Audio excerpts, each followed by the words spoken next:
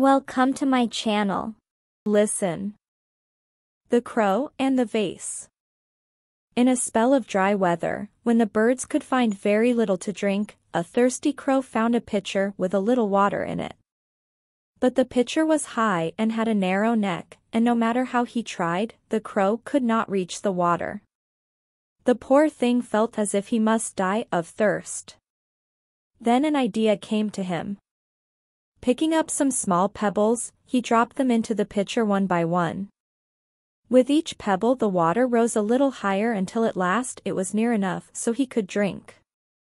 In a pinch a good use of our wits may help us out. Listen and practice. In a spell of dry weather, when the birds could find very little to drink, a thirsty crow found a pitcher with a little water in it. In a spell of dry weather, when the birds could find very little to drink, a thirsty crow found a pitcher with a little water in it. But the pitcher was high and had a narrow neck, and no matter how he tried, the crow could not reach the water.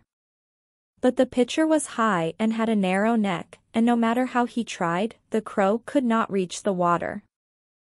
The poor thing felt as if he must die of thirst. Then an idea came to him. Picking up some small pebbles, he dropped them into the pitcher one by one. The poor thing felt as if he must die of thirst. Then an idea came to him. Picking up some small pebbles, he dropped them into the pitcher one by one. With each pebble the water rose a little higher until at last it was near enough so he could drink.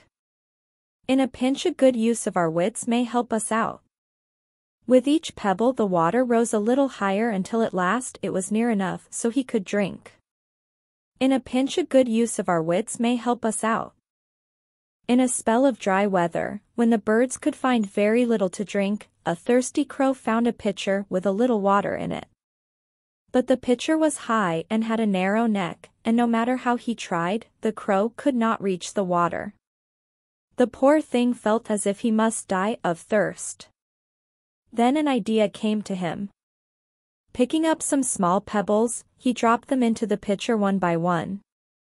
With each pebble the water rose a little higher until at last it was near enough so he could drink. In a pinch a good use of our wits may help us out.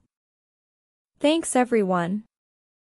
Good. Bye. See you again.